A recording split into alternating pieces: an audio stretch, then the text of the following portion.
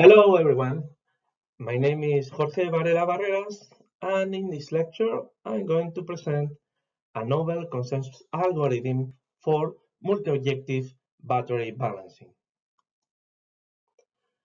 A lithium-ion battery pack typically consists of a number of cells in a series parallel arrangement.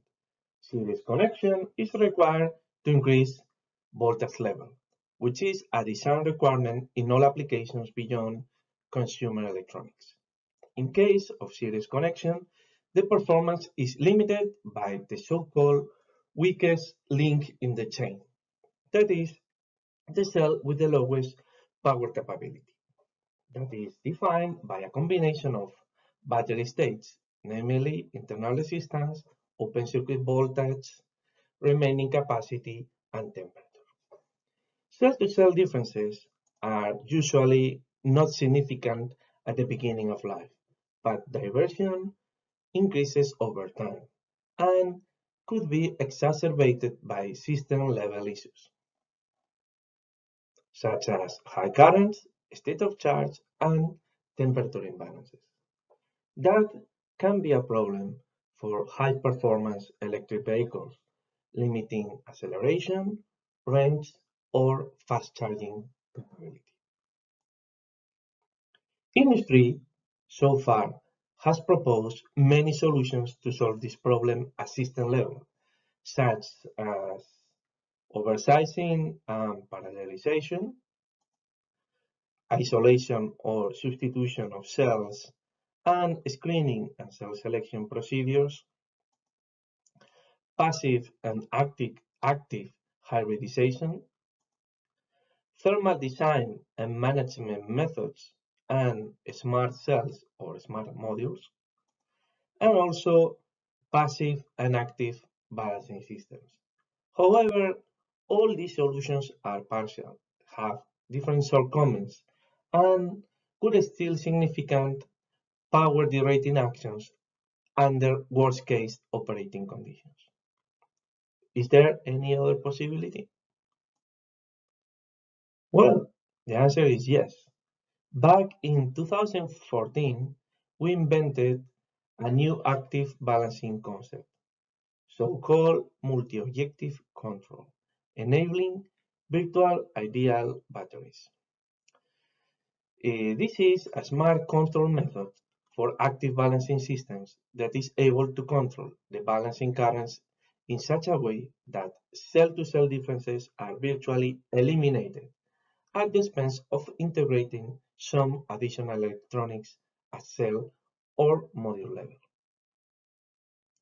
This initial study validated the concept in simulations and laid the foundations, making statements such as a balancing circuit could offer potentially more control features than a state of charge balancing, especially with topologies able to provide bidirectional power flow control.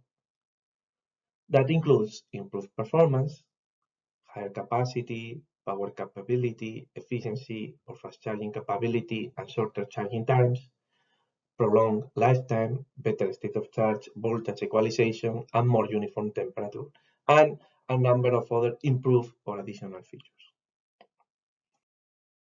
Since 2014, we have improved our understanding and the technology readiness level of this new generation of balancing controllers.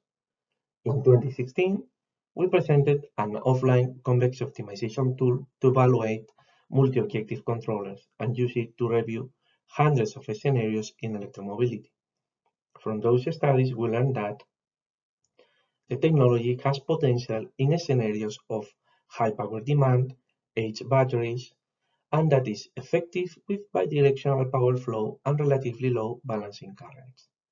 In 2018, we expanded the features of the concept by adding supercapacitors in the balancing bus, and therefore enabling the advantages of hybridization at cell level.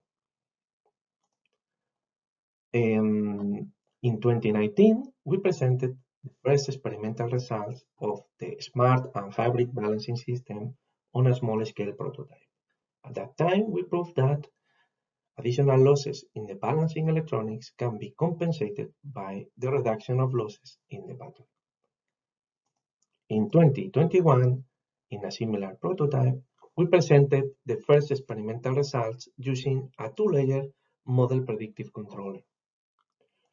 Also, in 2021, we presented a real-time capable smart balancing control algorithm based on a multi-agent consensus protocol. In followings, I'm going to talk about this in more detail. This work was published by invitation in 2021 in the open access journal Energies. Here, we presented for the first time in the literature a multi-agent consensus algorithm for distributed control of balancing systems. The control protocol is implemented and validated in simulations. This block diagram shows the general arrangement of the simulation framework. We generated different power demands in an electric vehicle application, focusing on most demanding conditions under aggressive driving and fast charging. We implemented an electrothermal battery model parameterized with experimental data and explored different tuning for the controller. Multi-agent systems are a core area of artificial intelligence research aiming to solve complex problems by subdividing them into smaller tasks allocated to autonomous entities known as agents. In this case, the agents are the cells balancing controllers, and the goal is to conduct state of charge, temperature, and voltage equalization. We implemented a distributed averaging or also called average consensus algorithm or just consensus. From values of interest of neighboring agents, here state of charge, temperature, and state of charge, and through simple arithmetic operations, each agent is able to obtain the average of the values measured by all the agents, reaching consensus. In other words, reaching an agreement on what is the average value. From the difference between the average value estimated and the agent's current value, a correction action, is generated. Here, the agent's controller current set point. This is done at each time step. This is also called multi-valued consensus. Here, I show exemplary results for a module with 8 large format cells in series, 53 ampere hour cells. They form part of the battery pack of electric vehicle that is operated under aggressive driving. The module has substantial cell-to-cell -cell variations in terms of capacity and internal resistance, and it is cooled under parallel force air. The first panel A shows results with no control. In this case, state of charge, temperature, and voltage imbalance is clear. Panel B shows voltage balancing results. For, for both the temperature and the voltage, imbalances are reduced, but at the expenses of higher state of charge imbalance. Indeed, these are conflicting goals. The next panel C shows again a voltage balancing case, but with a current-dependent definition for the consensus gain. We should note that the larger the consensus gain, the larger is the correction action. This definition enables higher correction for voltage imbalance under high peak currents, and it is actually proven quite effective. The last panel D shows results of dual balancing, state of charge and voltage at the same time.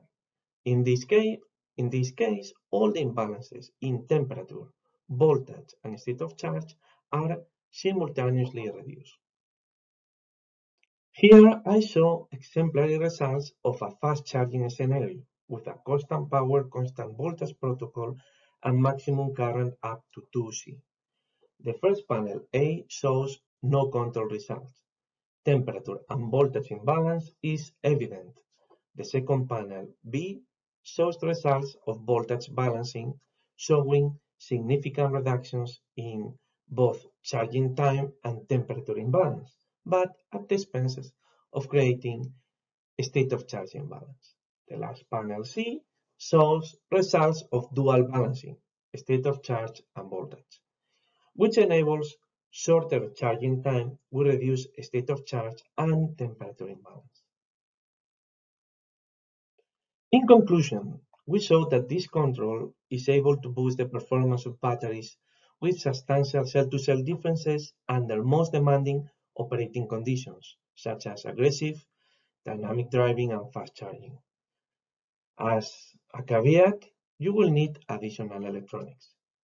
In comparison with no control, we show that driving time can be increased by 10%, charging times reduced by 23%, maximum temperatures by 10 degrees, temperature differences by 3 degrees RMS, and low voltage violations by 500%.